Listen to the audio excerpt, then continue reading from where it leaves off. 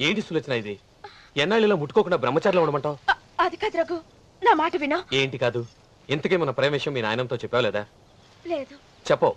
నీ వల్ల కాదు. నేనే మా నాన్నతో మన ప్రేమ సంగతి వద్దు, రఘు. ఏమొద్దు చెప్పేది విను. నేను చెప్పేస్తాను. రఘు, వెళ్ళొద్దు. నువ్వు రఘు, ఊరుకో. ఒక్క మాట. నేను చెప్పేస్తాను. రఘు, ఆగు రఘు.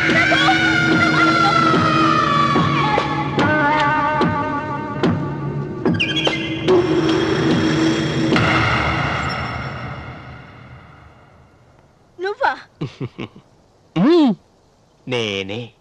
ఎందుకొచ్చావు? నువ్వు మా నాన్నని చెప్పిన రాక్షసుడివి? అంటావు. వెంటనే వెళ్ళకపోతే నేను చంపేస్తాను? అంటావు. కదమ్మా.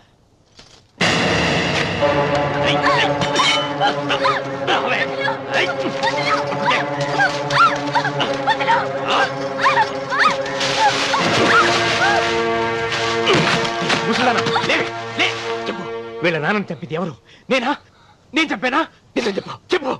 ఎవరు చంపారు? ఎవరు చంపారు? చెప్పు.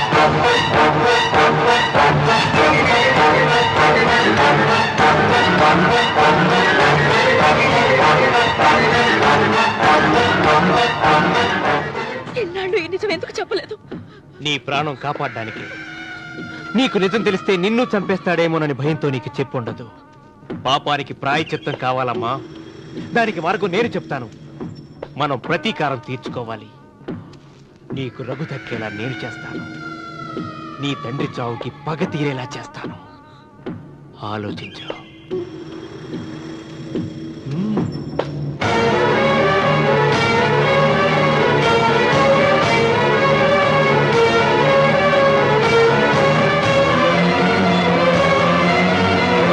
నేను నమ్మను. మా నాన్న దేవుడు. మా తాతయ్యకు జరిగిన అన్యాయానికి ప్రతీకారంగా పొలాలు స్వాధీనం చేసుకున్న మాట నిజమే కానీ హత్యలు చేసే అంత దుర్మార్గుడు కాదు మా నాన్న.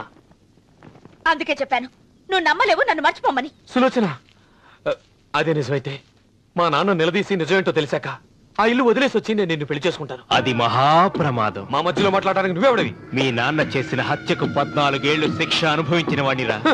నీకు నా మీద జాలి రావాలి కానీ కోపం వస్తుందేంట్రా? మీ నాన్న మనస్తత్వం నాకు బాగా తెలుసు. నువ్వు నాగసులోచన ప్రేమించుకున్నారని తెలిసిన వెంటనే వీళ్ళిద్దరిని చంపేసి వీళ్ళ పొలంలోనే పాతి పెడతాడు నా మాట విను. ఇంకేం ఆలోచించుకో.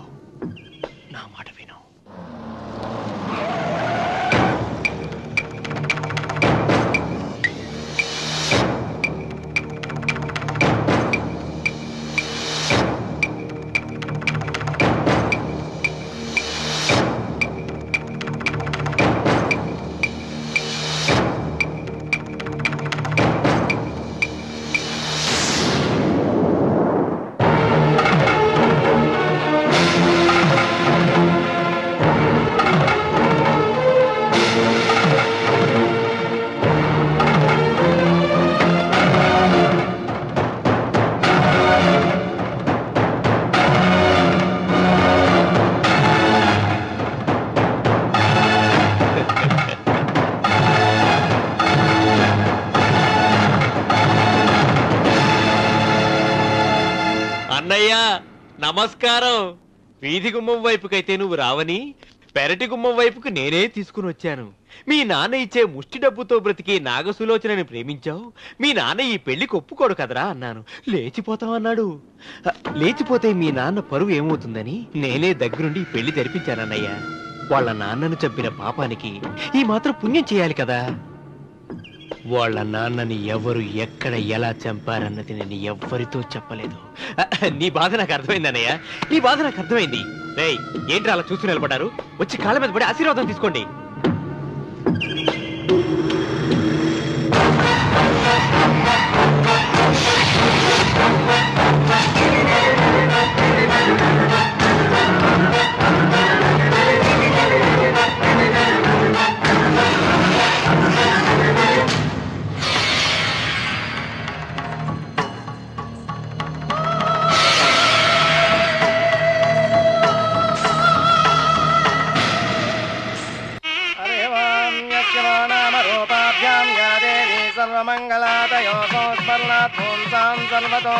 శ్రీమంగళం శ్రీమంగళగౌరీ దేవతాయై నమ.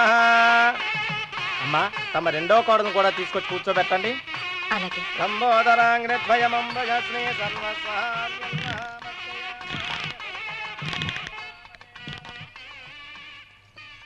ఏంటమ్మా ఇంకా అలాగే ఉన్నావు? నువ్వు ఈ పూజకి ఏర్పాటు చేయమంటేనేగా మీ మామగారికి ఇష్టం లేకపోయినా ఒప్పించాను. అందరూ వచ్చేసారు చీర మార్చుకుంటా. నాకున్న చీరల్లో ఇదే మంచిది. నా దగ్గర పట్టు చీరను తీసుకో. మీరు కట్టి విడిచిందా?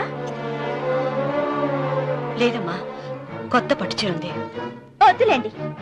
పోనీ నగలైనా పెట్టుకోమా? మీరు పెట్టుకోక మిగిలినవా?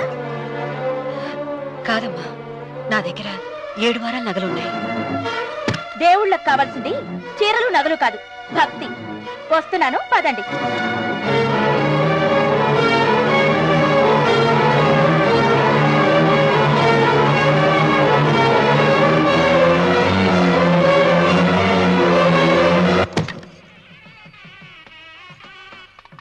అమ్మా రెండో కాడను త్వరగా తీసుకురండి. ఈ హోరలోనే వ్రతం పూర్తి చేస్తే చాలా మంచిది.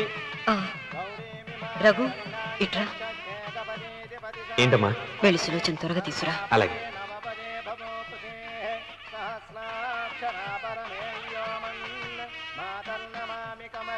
ఏముంది? రానుందమ్మా. ఎందుకని? ఎందుక?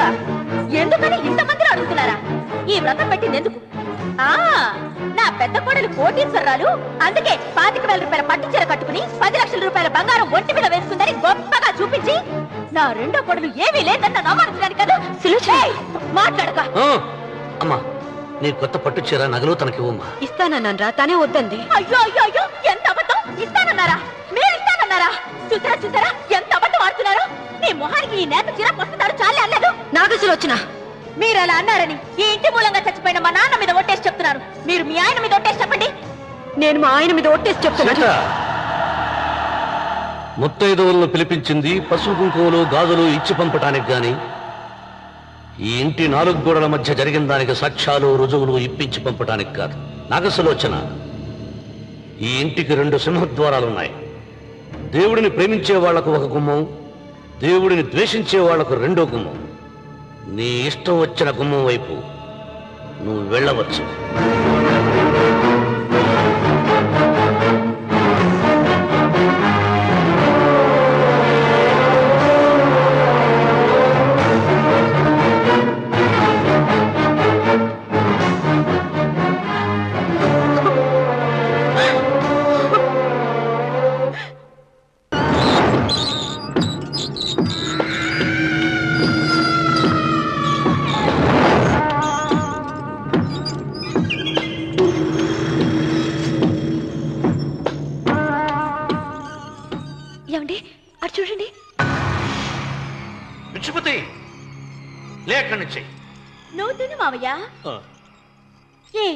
నా కోసం వచ్చావు. నిన్ను నేను గౌరవించుకోవాలి కదా? అది మా నాన్న కూర్చుని ఉయ్యాల వల్ల ఆహా! రేపు ఆయన చచ్చిపోతే ఎవరు కూర్చుంటారు? ఆయన బూడిద పోసి పెడతారా? సులోచన! రఘు! లేడు. ఎందుకు అలా అరుస్తారు?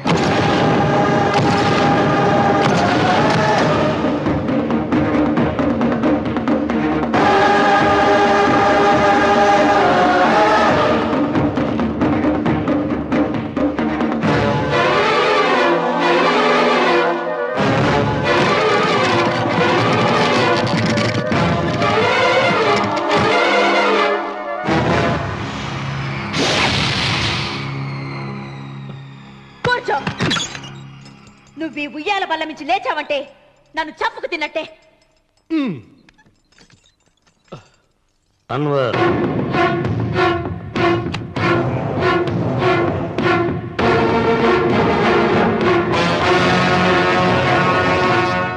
నువ్వు కూర్చో మావయ్య. సులోచన బుద్ధి లేకుండా ప్రవర్తించకు. వేప చెట్టుకు పాలు పోసి పెంచినా అది చేదుగానే ఉంటుంది కానీ తీయగా మారదని ఆయన ఎన్నిసార్లు చెప్పినా ఆయన మాట వినకుండా నీ అడుగులకు మడుగులెత్తాను. ఆయన ఎవరనుకుంటున్నావు? ఈ ఇంటికి పెద్ద. దేనిలో పెద్దండి? ఆ? హత్యలు చేయడంలోనా? పక్కవాడ పొలాలు ఆక్రమించుకోవడంలోనా? వీధిలోకి వెళ్ళి పసిబిడ్డని అడిగినా చెప్తాడు. ఆయన ఎంతటి నీచుడో హంతకుడోనని.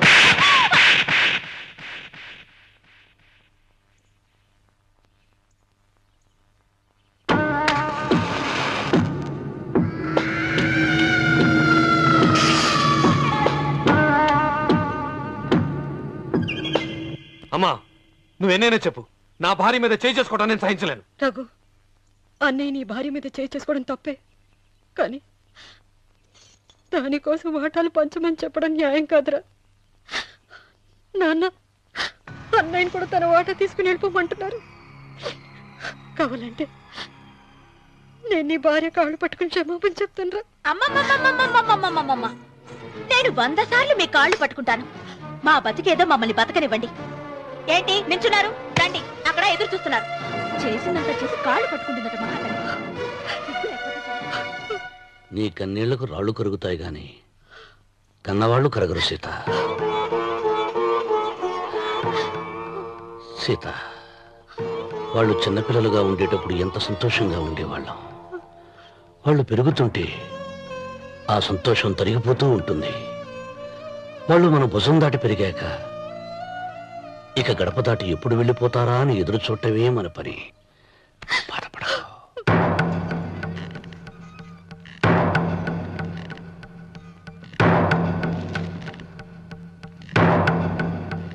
ఇదేంటి లారి గారు? ఆస్తి మాత్రమే మూడు వాటాలుగా రాశారేంటి? అమ్మ నగలో నాకు వాటా ఉందిగా? మ్మ్. ఆ నగల గురించి కూడా దీంట్లో రాయండి.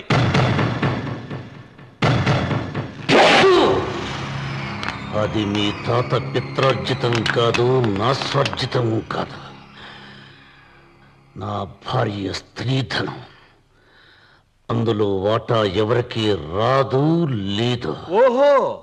అమ్మ గదిలోకి చేరిస్తే నా మీద ప్రేమ అనుకున్నాను నగలివ్వాలని ఏడుపా. ఈ ఏడుపేదో నన్ను కనక ముందు ఏడవాలి.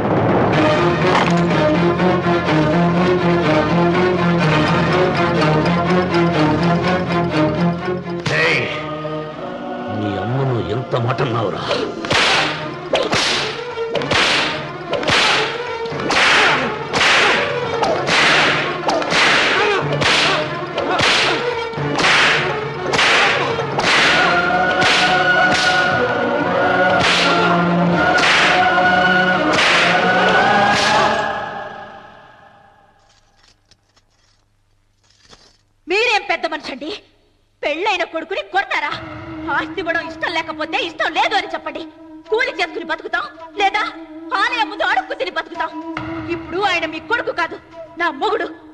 మొగుణ్ణి కొట్టే హక్కు మీకు లేదు.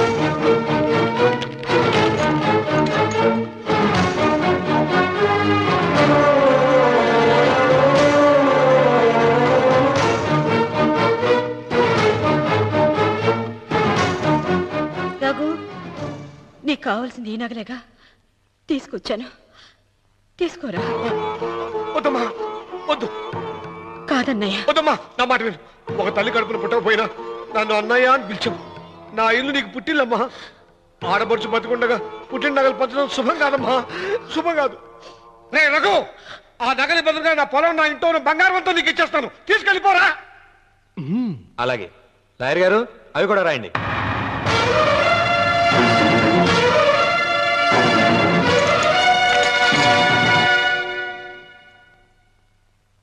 నాన్న నాకు ఆస్తక్కర్లేదు నేను మీతోనే ఉంటాను.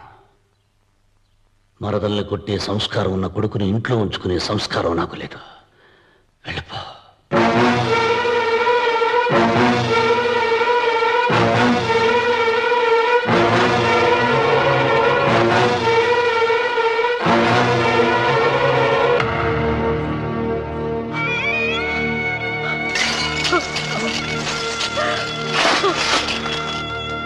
చిత్తమ్మ! అమ్మ సీతమ్మా సీతమ్మా. ఒరే రావుడు. నాకేదో భయంగా ఉందిరా. ఆ దేవుడి శాపం తగిలింది. లేకపోతే నీ కుటుంబం ఇలా ముక్కలైపోవడం ఏమిటి? నా మాట విను. వీళ్ళు. ఆ శివలింగాన్ని తిరిగి తీసుకొచ్చి యథాస్థానంలో ప్రతిష్ఠిస్తారా? ఆ.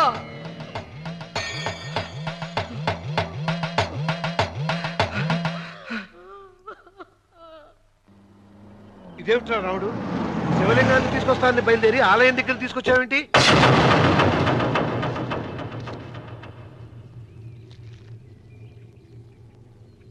ఎలారా ఈ ఆలయాన్ని పడగొట్టాలి? ఎప్పుడు రా సంబశివరా పొలం నా సొంతం అవుతుంది? వెంకన్న నా పట్టుదల కోసం నేను ధరించిన ఈ నల్ల చొక్కా ఎప్పుడు రా మార్చేది? ప్రతీకారం కోసం ప్రమాణం చేసి వేసుకున్న నా తండ్రి మొలతాడు. ఎప్పుడురా నా మెడ నుంచి ఊడిపడుతుంది చెప్ప చెప్పరా? ఆ ఆలయాన్ని పడగొట్టి ఉపాయం చెప్ప. చెప్పు! ఇంత జరిగినా కూడా నీ అహంకారం తగ్గలేదురా? నారు పొయ్యకుండా నీరు పెట్టకుండా ఈ ప్రపంచంలో పెరిగేది ఒక్కటే. అహంకారం.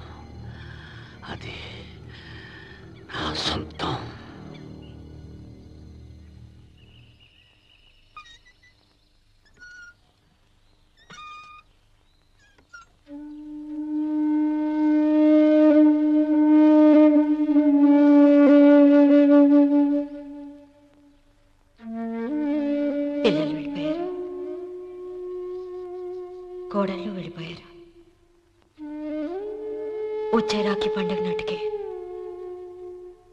కట్టడానికి నేను కూడా ఉండకుండా వెళ్ళిపోతానేమో. అవే మాటలమ్మా. నువ్వు నిండు నూరేళ్ళు బతకాలమ్మా. పదిహేను రోజులు కూడా పిల్లలు లేకుండా బతకలేకపోతున్నదని. నూరేళ్ళు ఎలా బ్రతకగలనన్నయ్య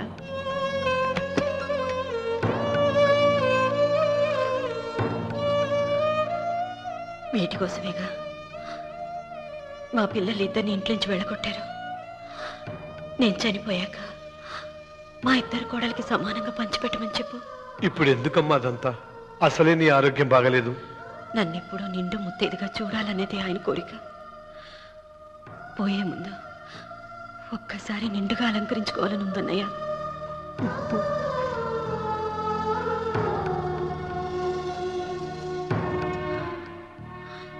ఈ అన్నయ్య లేకపోతే నా ఈ కోరిక తీరేది కాదు. నీ చేతులతో అలంకరించన్నయ్య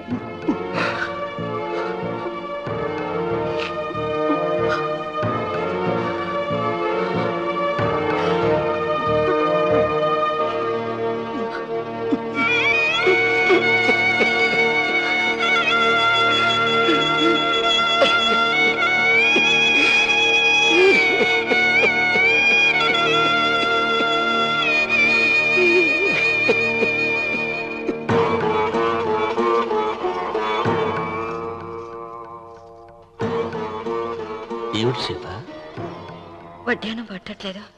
సరిగ్గా పెట్టండి. పేరంటానికా? భర్త ముందు అలంకరించుకుని కూర్చోవడం కంటే ఆడదానికి వేరే పేరంటే ఉంటుంది చెప్పండి. ఏమండి? మీరు ఉత్తమ జాతి స్త్రీ రెండో కోరిక కోరదు అన్నారు.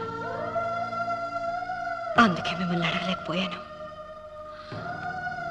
కానీ చనిపోయే ముందు నీ ఆఖరి కోరిక ఏమిటి అని అడుగుతారు. నా ఆఖరి కోరిక ఆ శివలింగాన్ని తీసుకొచ్చి ఇంటి ముందు ప్రతిష్ఠించండి. సీత పళ్ళు గట్టిగా ఉంటాయని నాలుక మెత్తగా ఉంటుందని మనం పళ్ళకే ఎక్కువ విలువనిస్తాం. వయసు పైన పడుతుంటే ఒక్కొక్క పన్ను రాలిపోతుంది. వయసు పెరుగుతున్న కొద్దీ ఒక్కొక్క బిడ్డ దూరం అయిపోతాడు కానీ నాలుక మాత్రం భర్తకు భార్య లాంటిది భార్యకు భర్త లాంటిది. బ్రతికినంతకాలం తోడుగా ఉంటుంది. బిడ్డలు దూరం అయిపోయారని ఏదోదో మాట్లాడుతున్నా. సీత.